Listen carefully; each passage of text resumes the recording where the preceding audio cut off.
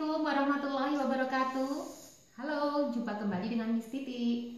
Kali ini kita akan membiasakan melestarikan budaya ya. Salah satunya yaitu budaya dari Jogja ya, yaitu membuat minuman tradisional. Minuman tradisional apakah yang akan kita buat hari ini? Wedang uwu. Nah, di tas lesson kit kalian, kalian sudah mendapatkan paket wedang uwu semacam ini. Isinya ada enam, yaitu ada kayu secang, gula batu, jahe, tangkai cengkeh, daun pala, dan daun cengkeh. Semua bahan ini dicuci bersih, kecuali gula batu. Nah, kemudian kita juga sediakan kurang lebih 250 ml air putih. Oke, sekarang kita langsung membuatnya ya. Kita panaskan dahulu air.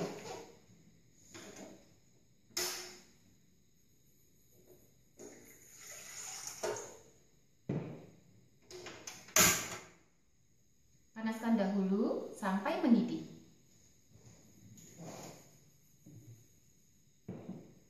Airnya kita panaskan dahulu hingga mendidih ya. Sambil menunggu mendidih, kita akan geprek jahe ini. Oh ya, jahenya sudah dikupas dan dicuci. Jadi sudah bersih ya. Kita geprek dulu.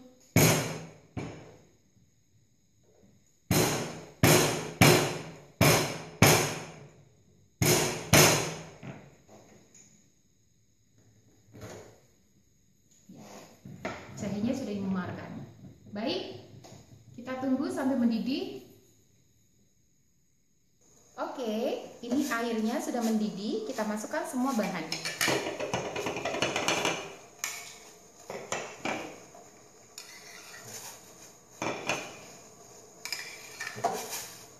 Kita tunggu hingga semuanya tercampur rata ya.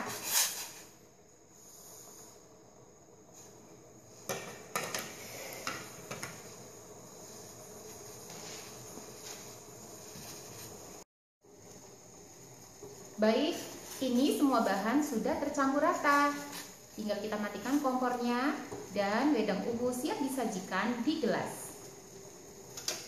Ini sudah tercampur dengan rata ya, sudah kita matikan kompornya, kita pindahkan ke cangkir ke gelas. Ke gelas ya, ke wadahnya.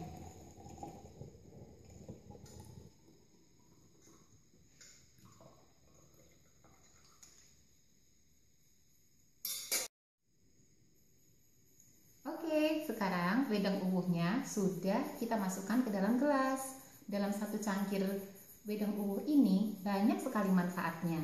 Di antaranya